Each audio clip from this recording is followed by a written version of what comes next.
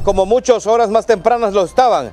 Sin embargo, hoy no hay servicio de taxi en el sector de la Kennedy Universidad. Mire, vacías están el día de hoy, no están trabajando. Recordemos que el día de ayer, eh, a través de noticieros, hoy mismo dábamos esta mala noticia donde un conductor de una unidad, repito, Kennedy Universidad, con número 2031 fue asesinado y que posteriormente fue capturado el supuesto hechor. Sin embargo, acá no vemos ni presencia policial, tampoco vemos lo que es eh, unidades de taxi por el mismo temor, porque según eh, ellos mismos denunciaban extracámaras que están siendo pues eh, constantemente extorsionados. Vamos a en otro contacto a buscar dirigentes del transporte porque sí, acá prácticamente sí miramos otras unidades de taxi, pero de otro punto de lo que es punto de la Kennedy Centro, pero lo que es la Kennedy Universidad, el día de hoy están paralizados y repito, esto es por la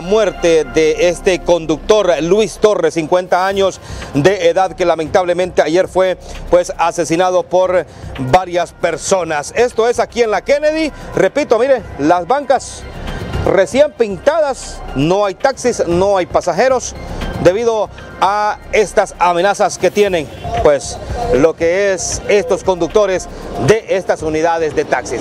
Las imágenes son de mi compañero Joseph Hernández con ustedes, estudios principales.